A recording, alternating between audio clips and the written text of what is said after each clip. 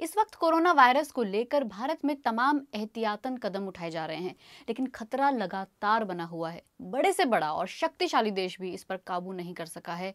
जरा सोचिए, ये जो कोरोना वायरस की कोविड 19 किस्म सामने आई है, ये ज़्यादातर लोगों में हल्के से बीमारी पैदा करती है, लेकिन फिर भी दुनिया भर में इतनी मौतें कैसे? तो ये वायरस कैसे शरीर पर हमला कर रहा है? क्यों कुछ लोगों की मौत हो रही है और कैसे इसका इलाज संभव है? पहले इंक्यूबेशन पीरियड के बारे में जानते हैं। ये वो वक्त होता है जब वायरस शरीर में अपनी जगह बनाता है। वायरस शरीर के सेल्स में घुसकर उन पर काबू पा लेता है। कोरोना वायरस आपके शरीर में आता है जब आप उसे सांस के ज़रिए इनहेल करते हैं या कोई संक्रमित जगह या चीज़ छू लेते हैं और उसके बाद अपना चेहरा।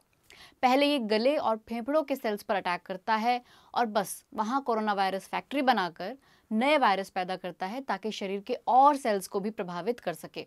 शुरुआती स्टेज में तो आप बीमार नहीं होते हैं और कुछ लोगों में तो लक्षण कभी नहीं दिखते। यूँ तो ये इंक्यूबेशन पीरियड यानी संक्रमण होने और लक्षण दिखने के बीच का वक्त लोगों में अलग अलग होता है, लेकिन आमतौर पर पाँच दिन का होता है।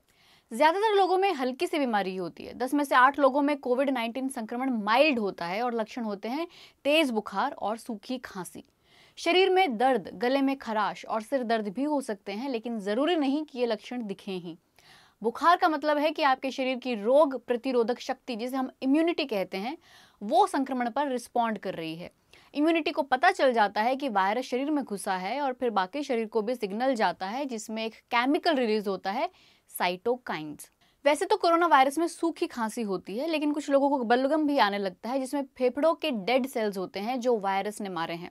इन लक्षणों को बेड रेस्ट से, लिक्विड पीने से और पैरासीटामोल से ठीक किया जाता है। यहाँ तक तो अस्पताल की ज़रूरत नहीं होती। ये स्टेज एक हफ़्ते तक रहती है। इस स्टेज पर ज़्यादातर लोग रिकवर हो जाते हैं क्योंकि उनके इम्यून सिस्टम ने वायरस को हरा दिया। लेकिन कुछ लोगों में गंभीर बीमारी भी हो जाती है। ये गंभीर बीमारी वाली स्टेज तब आती है जब इम्यून सिस्टम ने कुछ ज़्यादा ही रिएक्ट कर दिया।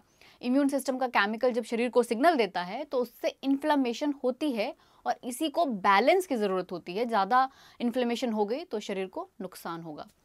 फेफड़ों की इन्फ्लेमेशन को ही निमोनिया कहते हैं। धीरे धीरे सांस लेने में दिक्कत होने लगती है, कुछ लोगों को तो वेंटिलेटर की ज़रूरत पड़ जाती है। चीन के डाटा के मुताबिक इस स्टेज में अब तक चौदह फ़ीसदी लोग आए हैं। तो एक क्रिटिकल स्टेज कब आती है? अनुमान है कि छः फ़ीसदी लोग ही अब तक क्रिटिकली बीमार हुए हैं। इस स्टेज तक शरीर हार चुका होता है और मौत का चांस बढ़ जाता है। ये तब होता है जब शरीर का ब्लड प्रेशर बहुत ज़्यादा गिर जाता है और शरीर सेप्टिक शॉक में चला जाता है। शरीर के ऑर्गन्स काम करना बंद कर देते हैं। डॉक्टरों ने बताया है कि हर संभव कोशिश के बाद भी कैसे लोगों की मौत हुई।